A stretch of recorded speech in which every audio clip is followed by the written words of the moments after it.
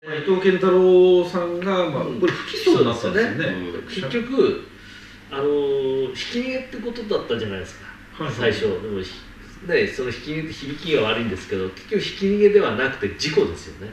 だから相手のバイクと接触してうん。で向こうもちょっとだからあのなんだろうこういう言い方するとあれかもしれないけど向こうもそあのちょっと悪かったみたいなだから保険で両立が両立っていうのかな？あの 50%50% だって言ってました。過失運転致傷は被害者と示談が成立したことなどことなどから起訴猶予ひき逃げは嫌疑不十分。で不起訴という。その 100m 先で止まってるんでずーっとそのまま逃げちゃったってわけじゃないっていうことなんでしょうね。まあなるほど、でもこれもねタクシーのに追っかけられてやっと止まったみたいな話もあるんで、ここら辺が微妙ですよね、うん。まあ、だからどういう形で芸能活動を再開するか。そうですよね。そこですよね。の注目だなっていうだけですよね、結局事務所は今どうなってるんですかね？事務所は辞めてないんでしたっけ？やめてないですよね。だからあのなんかえっと戻ったところで。戻ったところですね。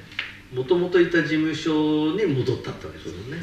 最初にでもまあそれなりに多分事務所が補填してるんですかね。いやこれは関係ないと思いますけどね。なんか特に役者さんの事務所だからねあのほらだからその仕事がストップしたやつとかあの賠償とか。ああその辺はそうかもしれないですねもちろん。なんか映画とか、まあ、いろいろドラマとかあるわけじゃないですか。ことは働かないわけにもいかないですからね。そうですね。多分でもね不起訴になったことで仕事は戻るんじゃないですか。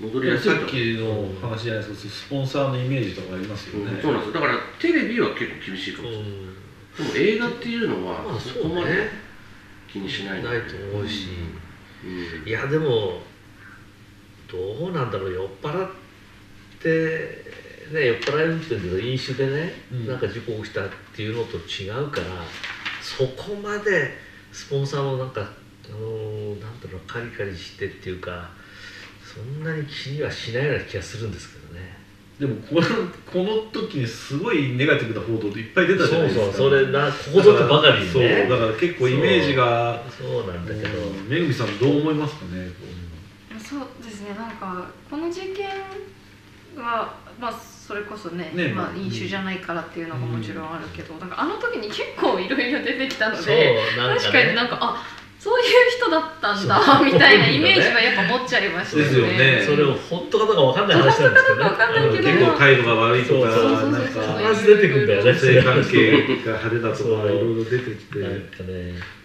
でもちょっと出過ぎた感もありませんでしたちょっとかわいそうでしたよね。ちょっとこんなに言うみたいな。